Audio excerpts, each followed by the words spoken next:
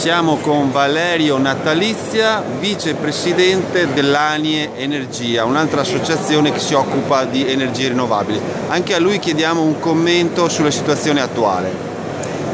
La situazione attuale è abbastanza uh, critica, soprattutto per quanto riguarda uh, il presente e il futuro del nostro, del nostro, settore. Purtroppo vediamo che dal punto di vista politico la discussione verte solo ed esclusivamente sul passato, quindi ci sono una serie eh, di provvedimenti che vanno a eh, minare quelle che erano le certezze del nostro settore, quindi una serie di provvedimenti che hanno già in maniera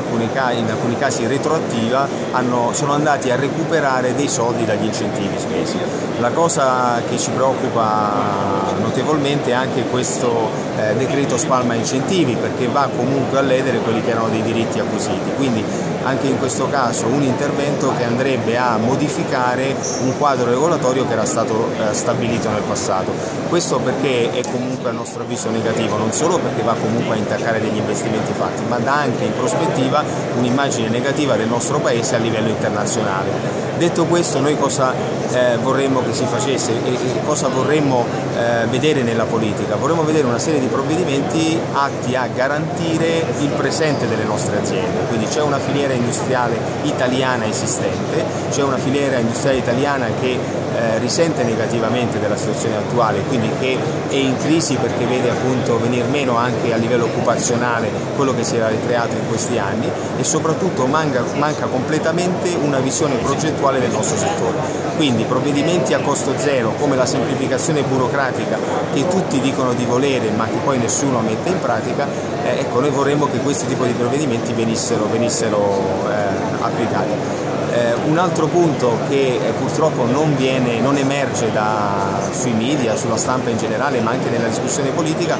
sono tutti i benefici che eh, si sono creati attraverso le rinnovabili in questi anni. Parlavo prima di filiera industriale che ha portato ad un'occupazione elevata anche di ragazzi, di neolaureati, di, di eh, quindi personale qualificato, ma anche di, eh, di, una percentuale femminile molto elevata in questa occupazione. Parliamo di eh, filiere industriali parallele al fotovoltaico che sono eh, rimaste in piedi grazie a questo settore e soprattutto parliamo di un settore che oggi potrebbe rimanere in piedi anche senza gli incentivi diretti, quindi quelli del conto energia, se solo ci fosse una comunicazione positiva, quindi da parte anche della, della politica una valorizzazione maggiore delle rinnovabili, soprattutto per quelli che sono i benefici non solo in termini appunto di filiera industriale, in termini occupazionali, ma anche in termini ambientali. Ci sono studi a livello mondiale che ehm, dire, sottolineano quello che è l'impatto negativo dell'uso dei, dei, diciamo, dei, combustibili convenzionali, comunque delle fonti energetiche tradizionali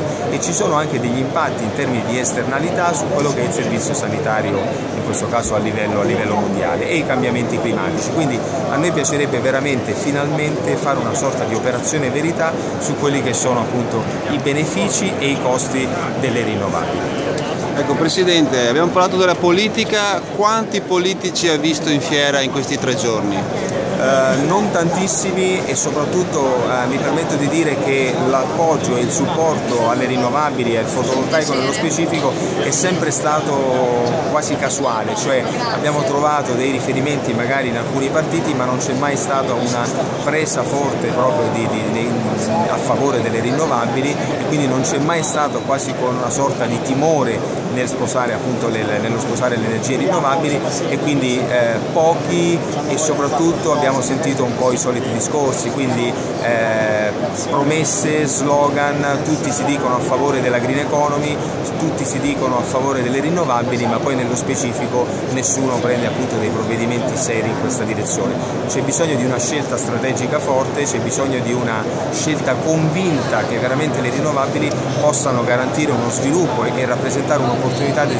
di sviluppo per, eh, per l'Italia. Eh, voglio solo precisare una cosa, tutti gli studi a livello mondiale indicano come eh, settore veramente in forte espansione quello delle rinnovabili, quello delle mobility, quello della green economy in generale, quello dell'integrazione di sistemi di storage. Quindi noi dobbiamo veramente cavalcare come protagonisti questo, questo, questa crescita che può portare le nostre aziende a essere forti non solo a livello nazionale ma anche internazionale.